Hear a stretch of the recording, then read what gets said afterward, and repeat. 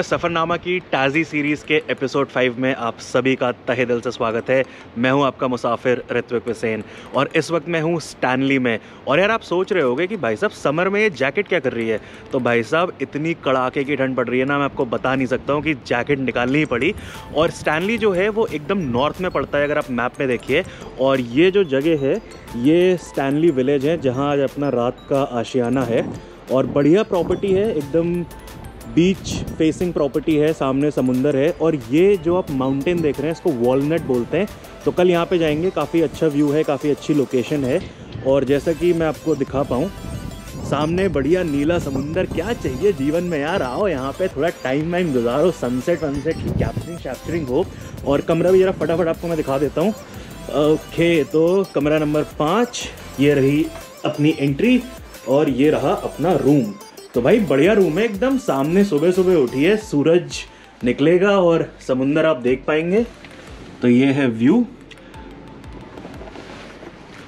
तो यार, मैं भी सोच रहा हूँ कि फटाफट जरा सनसेट कैप्चर किया जाए। कुछ बढ़िया एक दो टाइम लैप्स आपके लिए बनाते हैं और बहुत जल्दी आपसे मुलाकात होगी वॉलनट से।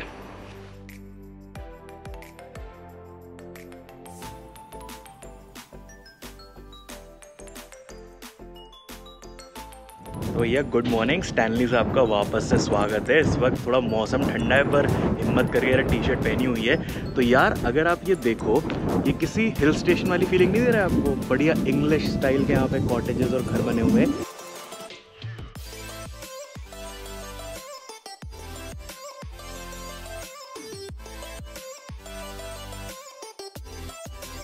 तो यार, इस वक्त मैं दी नट की तरफ़ जा रहा हूँ और इस वक्त चेयर लिफ्ट में हूँ।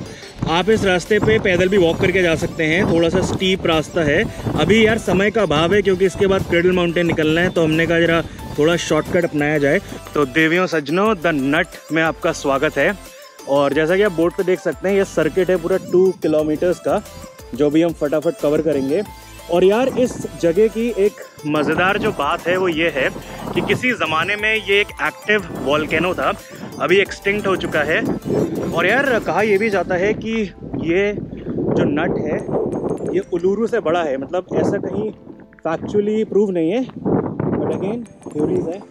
चलेंगे भाई, उसको भी प्रूव करके आएँगे, जब उलूरू आपको घुमाएँगे। बहुत जल्दी किसी ना किसी सफ़रनामा में। तो यार, मैं आ चुका हूँ इस वक्त द नट के पहले लुकआउट पॉइंट पे।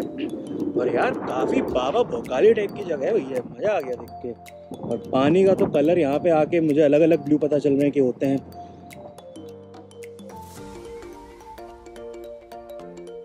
साहब, नीले कलर दिख रहे हैं ना यहाँ पे। मज़ाक नहीं कर रहा हूँ। बचपन की याद आ गई सारी ड्राइंग बना लूँ मैं यहाँ बैठ के। बहुत बढ़िया, बहुत उत्तम। तो यार, इस वक्त मैं दूसरे लुकआउट पॉइंट पे हूँ और क्या बढ़िया व्यू है। यहाँ से आपको स्टैनली सिटी थोड़ा सा दिखेगा, एक पार्ट दिखेगा। और ये आप देख सकते हैं, सामने जो रेड कलर के कॉटेजेस है, वही मैं रात को रुका हुआ था, अगर आप देख पाए अपनी स्क्रीन पे। और कैमरा पैन करता हूँ यार, बहुत बढ़िया व्यू है। और यहाँ पे एक छोटी सी शिप भी खड़ी है, जेटी भी है, और ये आपका क्लिफ पॉइंट है। तो भैया, दूसरा लुकआउट पॉइंट देखने के बाद अब आगे बढ़ रहे हैं तीसरे लुकआउट पॉइंट के लिए। और यार जैसे जैसे मंजिल आगे की तरफ़ बढ़ रही है, कारवां आगे की तरफ़ बढ़ रहा है। वैसे वैसे ये जगह और खूबसूरत और ब्यूटीफुल होती जा रही है। तो यार, मैं इस वक्त टैटलोज बीच लुकआउट पॉइंट पे हूँ और आप स्क्रीन पे देख सकते हैं, ये है स्टैनली शहर।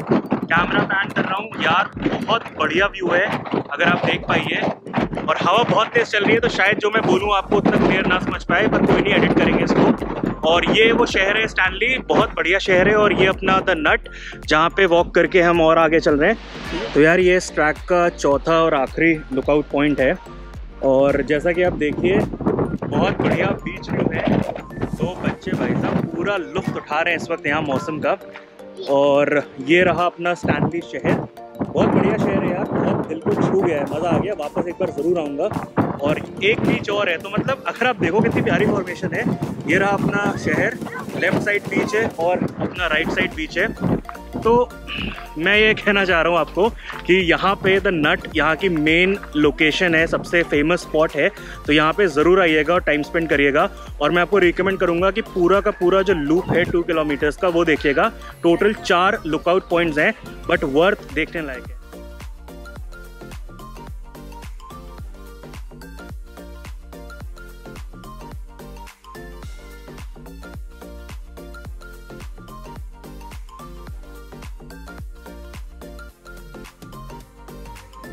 तो भैया, सफ़रनामा, टैजी सीरीज़ का ये एपिसोड यहीं तक। और यार स्टैनली बताऊँ भाई, बहुत खूबसूरत है। तो बहुत जल्दी मिलेंगे टैजी की एक और खूबसूरत लोकेशन पर। तब तक ख्याल रखिए, खुश रहिए, सुरक्षित रहिए। शुभ रात्रि शब्बा खैर।